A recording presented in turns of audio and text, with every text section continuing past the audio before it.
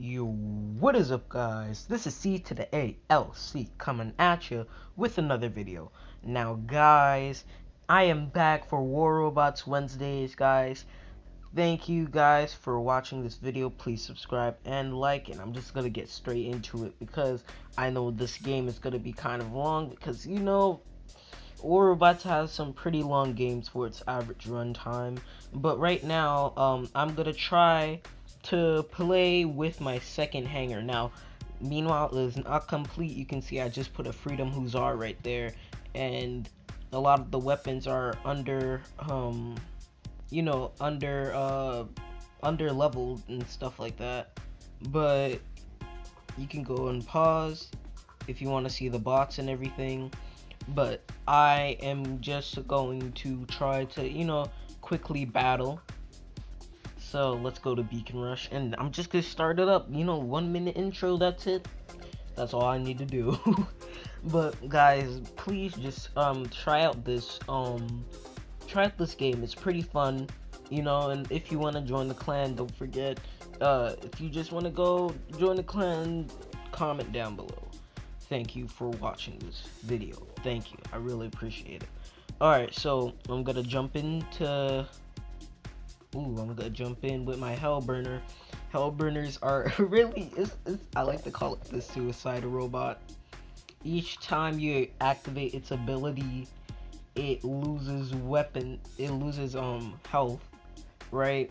I I have a like a whole defense setup, so it could just be like walking. Like you know, I really feel like the Hellburner doesn't need any weapons because it already does damage, and with these modifications on here, you know, got the ECU shield for plasma weapons. I can go through my Ansel, and yeah, that's really all you need.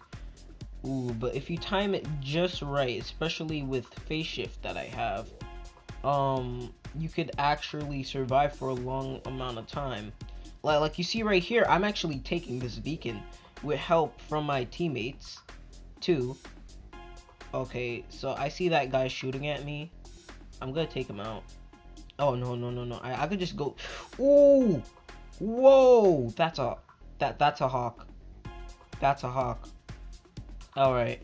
If I explode, I explode on this guy.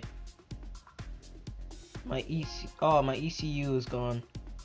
My ECU is gone. And I only have low health, so I'm gonna see if I can explode on this guy. Oh, okay. I did enough damage. Um, Ooh. Wow, there's not a lot of people here. Let me use my one of my other drones. Um lock on and yeah, I'm just gonna go and stay here. Oh, hey, hey, bud, how you doing? Yeah, I know you realize I'm here. Um, yeah. Hi, how you doing? Uh, you're not gonna get this beacon? Oh, freak. I, I forgot to teleport back! Oh no! Oh no, no, no. Okay, okay. It's good I have another Scorpion, bro. What's up, my Scorpion, bro? I I was so lucky to win this um on the um you know getting it for free and everything. It was so worth it. I this is a very tricky setup, especially when it comes to the uh, scourges and sparks. Uh, but it, it does do a lot of damage, and these are like my favorite weapons. Ooh. I'm not gonna do that. Alright. And my whole setups are not like, um, like, look at this. I'm literally just staring at him. I don't have to turn my robot in order to do damage. So it's kind of good for a moving robot as long as you can, you know, use know how to use these weapons. Um, but these are a lot of like, it is very risky though just need to know how to use your spark and scourge to your fullest um like you need to know how to do quick switch and everything. It's it's it's but it's like very um it, it's very like that. You see i lost my lock on already. It kind of works but like look at how much damage i'm doing to this guy. Oh i got the kill too.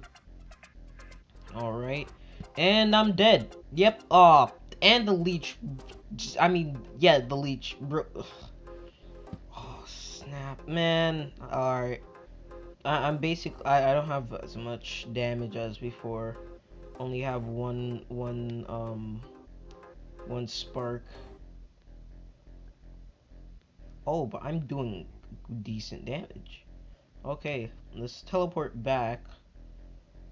I think I could just scrap the robot, but I'm not going to do that at all. Looks like this game is gonna end sooner than I thought. Oh, okay, scrapping robot, right? About no, let, let's try this guy. Let's try my Inquisitor. He does a lot of damage. Okay. Okay. Wait, how much damage did I receive? What? My my uh overdrive was activated. And don't forget, these are just level 5 atomizer and um Oh, Quarkers! Quarkers! Oh! Oh! Oh! Dang. I know that's not Corker. Uh, I got the name wrong. Oh, okay. Game is over. Just like that. Boom. Taking it out. I'm awesome. I, I know I am. I know I am. I'm gonna take a big risk right now. I'm gonna take a big risk and do another game because it's already seven minutes. So, uh, nah, you know what? I am going to make uh part two probably. I can maybe do that. Mm, okay. So sorry guys, you only got to see what is it? You only got to see three of my robots, and that's not even like the big like power, maximum power I can do with these because um like like as you see here this one doesn't do a lot of damage unless there's a lot of people on the beacon, right? Um, this one does do a lot of damage as long as I can stay alive. This one, I think that's one of my most highest damage dealers I have on this hangar and maybe in my other hangar too if I get this well leveled up. This one is very sniper. It's kind of bad as a sniper. It's just meant to support.